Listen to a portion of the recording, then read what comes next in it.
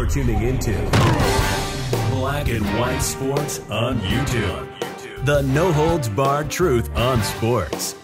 The main event starts now. What's up, black and white sports fans? John Matrix here, and I am back with another video. All right, guys, this is your first time here. Make sure you hit that subscribe button. Also, check out the join button. We have channel memberships. The channel at the time of this recording has surpassed 19,000 subs. We'll probably get to 20,000 subs today. Thank you to everybody that has supported us.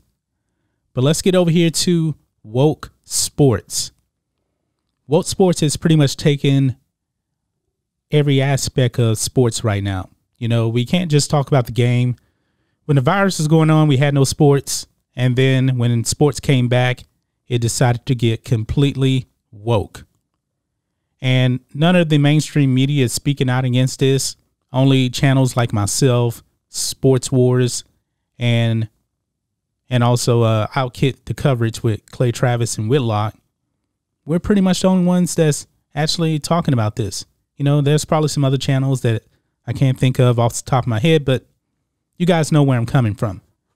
The mainstream media refuses to criticize athletes for for mixing politics and sports. It's not a good mix. It's bad for business it alienates your fan base. And that's pretty clear as far as we can see, as far as the NBA, the ratings are down. And we know that the NFL is going to be starting here in a few days, and we'll have to see what happens with the NFL. But I'm not feeling too confident that the NFL is going to have strong strong ratings because we already know what they're going to have in the end zone. You know, in racism, it takes all of us. Don't know exactly how big that's actually going to be shown on the field. I'm thinking it's probably going to be pretty big. Okay, now this is going to be in all all NFL stadiums for the home team. But let's get over to this here. Jack Smith, the founder of Sports Authority. I remember the Sports Authority back in the day. He had some strong words about for LeBron James and these woke sports. He is not a fan of that at all. And folks, I got to tell you, man, I completely agree with what he said. Now, Jack Smith, uh, you guys probably see my cat here. She's on my on my lap. But uh, Jack Smith actually said uh, this. He said, "quote If I had Sports Authority, I'd take the LeBron Nike shoes and put them on the back shelf. I think it was stupid what the Mets and Marlins did. I don't know what they were trying to prove." Close quote. Wow. So he would take a prominent athlete's shoe and put it on the back shelf. That's how little respect he has for all of this woke sports.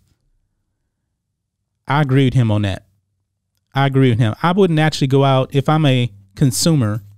I would not actually go out and purchase anything from these athletes. You know, what do we talk about here on this channel? We talk about defund the athlete and we got we got those shirts coming. Now, so the merch store it was up, but then we had some some issues with it, but it should be back up probably today or tomorrow. But anyway, I digress. Yeah, he he's perfect. He's completely right about that. And I do believe that you guys agree with this also because people in the comment section right here on this channel, they said that, you know what, they're done with Woke Center, they're done with MSESPN. They said that they get their sports news from this channel and Outkick. We love that. We love the support. I mean, this is the reason why this channel a month ago had 1,000 subs and now it has 19,000 subs. It's because we are all sick and tired of woke sports. Nobody wants to watch sports for the politics. It is a bad, bad mix. But you know, you got the woke media out there trying to make excuses for for all of this. LeBron James has set a bad precedent out there in sports. Now, it's not all on LeBron. You know, the NBA, you know, putting Black Lives Matter on the court, all these social justice messaging, you know, actually peeped out the end of the uh, the Heat Milwaukee game uh, at the end of last night because I was actually planning on making a video on it and I wanted to see kind of the outcome so I can kind of set the stage for the video. But I found this here and I thought this would probably be a better topic here but it's completely woke. The NBA is completely woke. I couldn't get past all the social justice messaging on the uh, on the jerseys. Now the coaches too. I didn't even know this. They actually had uh, social justice messaging on their shirts as well. They had like these badges. I don't remember exactly what they uh, what they exactly said on it. I don't remember. I was just so frustrated. Then I just turned it off. And then I just went to bed. I was like, I'm not even going to make a video on this. I did predict that the uh, the Heat would win in a in four or five because the Milwaukee Bucks, the reason why they lost, they showed up in that bubble not ready to play basketball. They wanted to be social justice warriors, and it showed. They lost in five games because they didn't care about playing a game. They wanted to boycott games. Well, you know what now? Now you guys got a lot of time to go out there and protest in the name of sexual assaulter Jacob Blake. Go out there and do it. Prove it. Okay? Prove Jack Smith wrong. Politics and sports is a bad mix. But you know what? These these players, man, they're actually gonna go out. Even LeBron, when it's all said and done, they're gonna go to their off-season homes and they're gonna disappear. We know that. Well, depending on the election, you know, LeBron is probably gonna have some virtue signaling um, um, appearances, you know, but they better follow through. I mean, the NBA is pushing for voting politics, pushing for the Democratic Party. This is a bad, bad move. Okay? A bad move.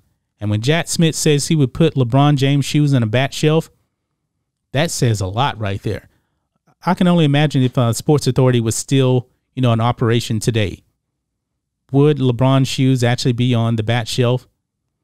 Could be. You know, if he had the control, maybe he would just completely pull them off the shelf completely. Maybe he was maybe he would actually want to lose money. Maybe he wouldn't lo- want to lose that much money. I'm I'm actually wondering though how how well are LeBron shoes even selling right now? I'm very very curious about that because maybe we maybe me and Rhodes should do some research on that and get back to you guys about that.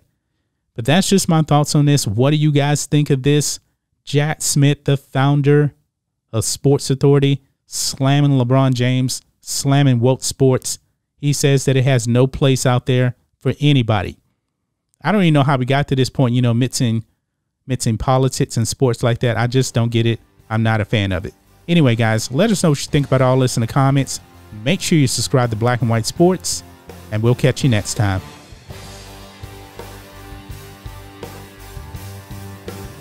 Thanks for watching the show. Be sure to like, comment, and subscribe. Be sure to tune in next time on Black and White Sports.